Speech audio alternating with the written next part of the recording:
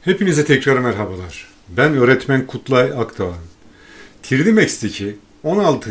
video dersimde yine standart primitives diye adlandırdığımız 3 boyutlu obje oluşturma komutlarını örneklerle anlatmaya devam edeceğim. Şimdi yine Alt W ile perspektif ekranı. Tam ekran yaptım. Yine renk olarak buradan Clay'i seçiyorum arkadaşlar. Hatta görüntü kalitesinde biraz standartın dışında high quality ile artırıyorum. Evet, teapot komutu 3D Max'in e, belki kendini ifade ettiği en temel e, komutlardan ya da obje oluşturma komutlarından bir tanesi.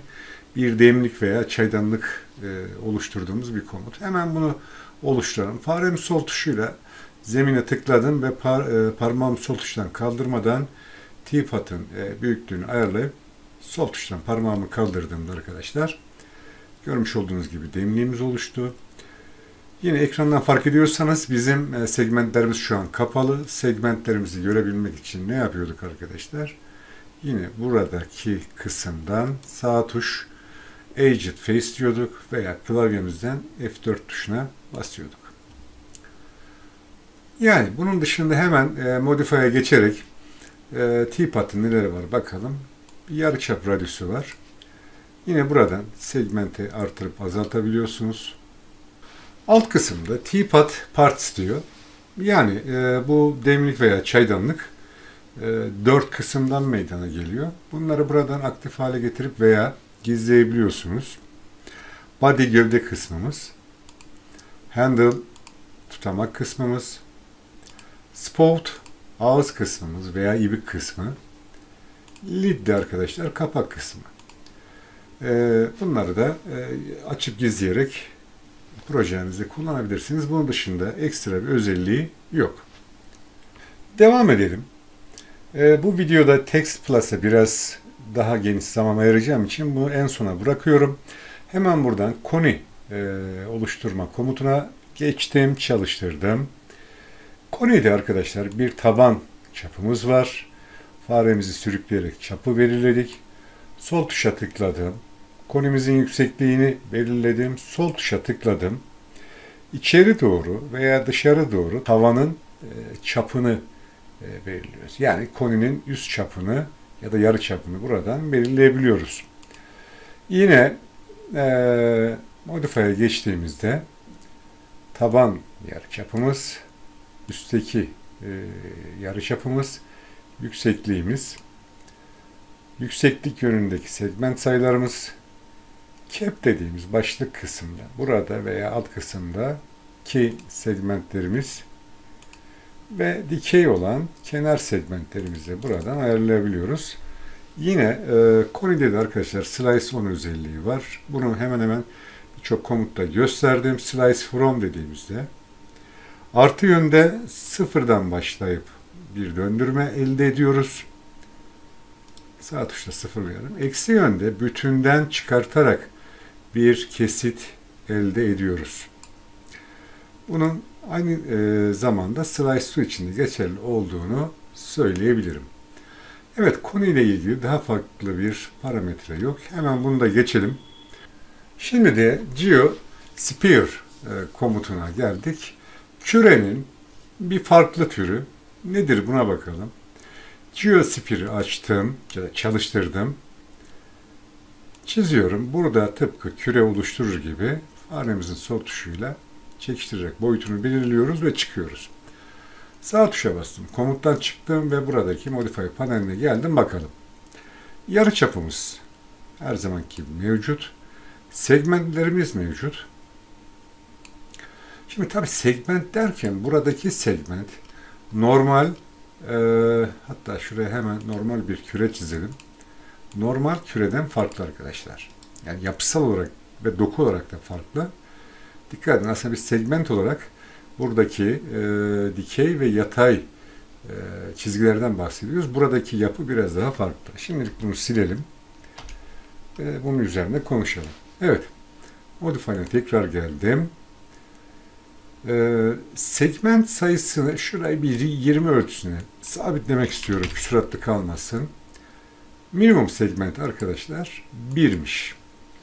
Bakın minimum segment 1 iken şöyle bir geometri var. Peki bu geometri nasıl oluşuyor derseniz alttaki base type dediğimiz kısımlardan oluşuyor. İsterseniz e, tetra ile başlayalım. Tetra'yı seçtiğimizde piramit oldu. Oktayı seçtiğimizde iki tane piramitin e, düzlem yüzeyinden birbirine bindirildiğini görüyorsunuz. İkosa ise birden çok e, piramidin birleşiminden oluşuyor tek segmentte. Bunları artırdığınızda farklı geometriler oluşturabiliyorsunuz. Buradaki e, farklılıklar aslında doku farklılığı. Yine bunu da projelerimizde kullanabiliyoruz. Yine burada hem spear var arkadaşlar. Normal küreli de vardı. Fakat buradakinde bunu seçtiğinizde direkt yarım küre halini alıyor. Başka bir alternatif sunulmamış. Diğerinde hatırlarsanız normal kürede e, yarım küre dışındaki diğer e, aralıktaki küreleri de oluşturabiliyorduk. E, base to pivot'u daha önce bahsetmiştim. Front'tan bakalım hemen. Bakın şu an oluşturduğumuz küremiz e, pivot noktası bizim yatay düzlemimizin tam üzerinde. Şurada görüyorsunuz. Base to pivot derseniz tabanı yatay düzleme çakışık hale gelmekteydi. Evet bunun dışında da perspektife geçelim tekrar. Farklı bir özelliği yok. Devam edelim arkadaşlar. Evet, tuğumuz var. Hemen çalıştırıyorum. Faremin sol tuşuyla zemine bir daire çiziyorum. Sol tuştan parmağımı kaldırdım. İçeri doğru bir daire çiziyorum. Sol tuşa tıkladım. Yüksekliğini veriyorum. Ve sağ klikle çıkıyorum. Böyle bir tüp ya da ne diyelim biz buna? Tüp diyelim şimdilik. Aslında tüp diye ayrı bir komut da var ama. Peki bunun parametrelerine bakalım arkadaşlar. Modify'a geldim. Birinci radyüsümüz dıştaki yarıçap. ikinci radyüsümüz içteki yarıçap ve yüksekliğimiz. Bunun dışında yine segmentlerimizi artık öğrendik. Segmentlerimiz var. Segmentlerimizi ne kadar çok artırırsak görüntü kalitesi de o kadar iyi olacak. Yine Slice on burada da mevcut. Artık bunu biliyorsunuz. Artı yönde bunu yaptığınızda sıfırdan bir kesit oluşturuyor. Sıfırdan e, tama doğru, bütüne doğru.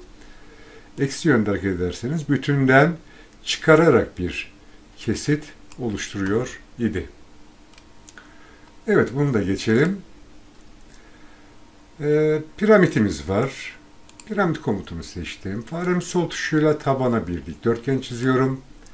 Sol tuştan parmağımı kaldırdım ve yüksekliğini veriyorum. Modifier'e de geldiğimizde genişlik yani tabandaki dikdörtgenin genişliği ve derinliği ve yüksekliği dışında sadece burada ne var? Segmentlerimiz var. Devam edelim biz. Plane'imiz var. Düzlem oluşturma komutumuz. Şimdi düzlem oluşturma komutu diyoruz ama 3D Max kullanıcıları da bunu çok iyi biliyor. Belki de projelerimiz içerisinde en sık kullanacağımız e, standart primitiflerden bir tanesidir.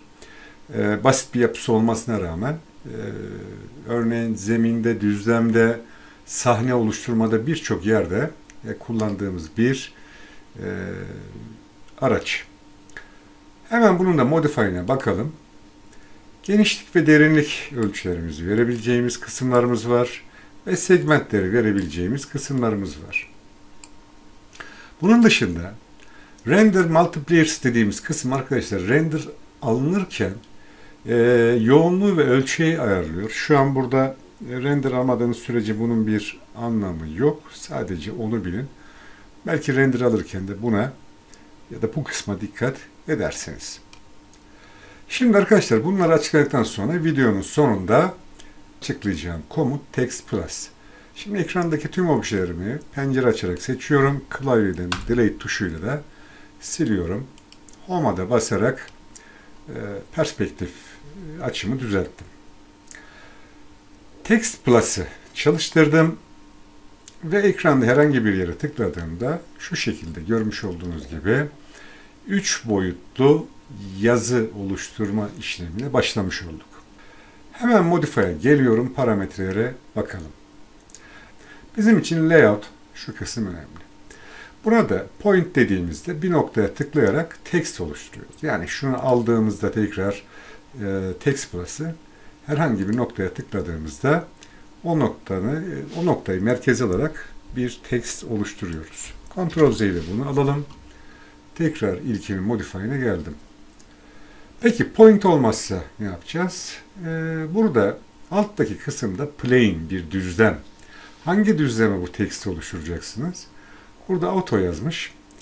Bu burada farklı yüzeylerimiz ya da parçalarımızın yüzeyleri olsaydı auto'yu kullanabilirdik ama ben size burada x, y, x, z ve y, z'yi göstermek istiyorum. Ee, bunları tabi yaparken şuradaki UCS'deki x, y e, ve z'nin aralıklarına ve yönlerine dikkat etmek lazım. Örneğin x ve y'ye x, y düzlemine bir text açmak istiyorsak onun için hemen bakın artıya bastım. E, text Plus'a geldim. x, y seçili. Şöyle tıkladığımda bu arkadaşlar x, y imiş. Peki Ctrl Z ile geri alıyorum. X, Z nasılmış arkadaşlar? Bakın şu düzleme yapılıyormuş. Ctrl Z ile tekrar geri aldım. Ee, hemen tekrar Text çalıştırdım. Bir de Y, Z'miz var. Buna bastığımızda da bu yönde ya da bu düzlemde tekstimizi oluşturabiliyoruz. Ctrl Z ile geri aldım. Biz ilk tekstimize tekrar dönüp modify'ine bakalım. Evet, bunun dışında bir de arkadaşlar bakın şu an e, tekstimin etrafında bir hat ve sınır var. Zaten burada region yazıyor, bir bölge var. Bu yüzde yüz anlamında şu an. E, bu bölgeyle oynayabilirsiniz. Mesela şuraya da isterseniz bir 3D S Max yazalım. Region dediğimde arkadaşlar bakın şu an şurası yüzde yüzlük bir bölge. E bu bölgede dolayısıyla ben aşağı kısımlara da bir şeyler ekleyebiliyorum. Enter'la geçip aşağı kısımlara da ekleyebiliyorum. Enter'a basıp yazıma devam edebiliyorum. Nereye kadar enter'e basıp yazıma devam edebiliyorum? Şuradaki sınıra kadar. E siz bu sınırı değiştirebilirsiniz, büyütüp küçültebilirsiniz. E, tıpkı çok satırlı yazı yazmak gibi. Point'te faremizin tıkladığı yeri e, yazımızı oluştururken Region'da e, yazımızın sınırlarını e, belirleyebiliyoruz. Biz tekrar Point'e geçelim. Bunun dışında aşağı doğru geldiğimizde arkadaşlar Open Large Text Window diyor. Buna bastığımda da bu yazıları daha geniş bir Word'de yazıyormuşçasına daha geniş bir ekranda düzenleyebiliyorsunuz. Peki burada farklı bir şeyler var bakalım. Şuradaki yazıları seçtim. Klavyeden delete sildim. Normal yazı dışında burada kalın italik, altı çizgili, üstü çizgili, e, tamamı büyük harf, büyük harf, küçük harf özelliği. Burada e, tıpkı Word'de olduğu gibi belirtebiliyorsunuz. Bir de üst karakter ve alt karakteri buradan arkadaşlar belirleyebiliyorsunuz. Örneğin üst karaktere şöyle bir örnek verebiliriz. 30 e, metre kare diyeceğim. Bakın şu an normal olarak yazdım. 30 M2. Buradaki kare kısmını seçip üst karakter yaparsam ve penceremi kapattım. 30 metre kare olacaktır. Tekrar e, buradan Open Large Text Window açtım. Onu silelim. Onda da H2O yazalım. H2O dedim. Ne yapacağım? 2'yi seçiyorum. Alt karakteri yaptım.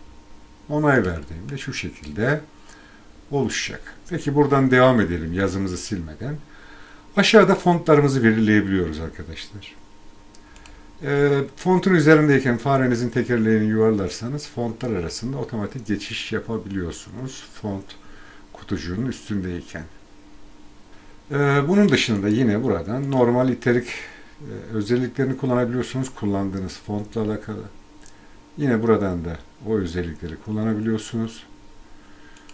Bakın buradan biraz önce Open Large Text'te gördüğümüz e, alt karakteri, üst karakteri de buradan arkadaşlar görebiliyoruz.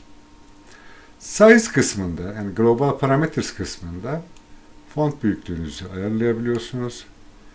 Tracking dediğimizde karakterler arasındaki boşluğu ayarlayabiliyorsunuz. Leading, leading burada açıklama çizgisi, kılavuz çizgisi bunu burada göremeyiz. Veya yazınıza e, dikeyde veya yatayda ölçek verebiliyorsunuz.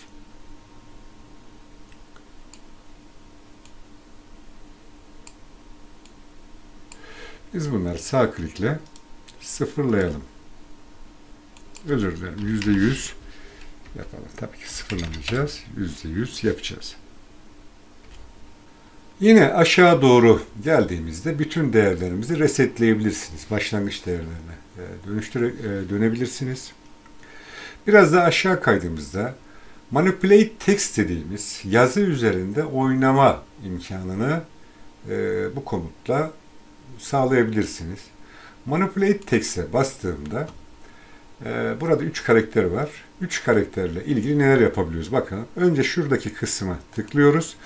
Tıkladığımızda arkadaşlar neler yapabiliyoruz? Önce e, köşelerden e, en ve boy eşit oranda bunu artırıp azaltabiliyoruz. Buradan karakteri yukarı aşağı taşıyabiliyoruz. Veya karakterimizi yatayda e, manipüle edebiliyoruz veya dikeyde edebiliyoruz. E, bu şanslara sahibiz. Yine aynı şekilde o için de geçerli. Bunu buradan ayırabilirsiniz. Hatta kopartabilirsiniz. Yani manipüle etmekle ilgili birçok ayarı manipulate text ile yapmamız mümkün. Ee, aşağı doğru gelmeden bunu kapatalım. İsterseniz geometri kısmında arkadaşlar e, text plus'a direkt üçüncü boyut uygulayabiliyorsunuz extrude komutuyla. Şöyle yukarı doğru ben bunu çektiğimde e, farklı bir araca gerek kalmadan kendi içinde de extrude'u verme şansına sahip oluyoruz. Extrude'un segmentlerini de artırarak kalitesini artırabilirsiniz veya deformasyonda bu segmentleri kullanabilirsiniz. Beveling dediğimiz bir kısım var. Apply bevel dediğimizde şu şekilde bir geometrik yapı oluşturuyor. Yani bevel komutuyla ilgili, kabartma komutuyla ilgili. Ee, bevel'in yapısını buradan değiştirebilirsiniz.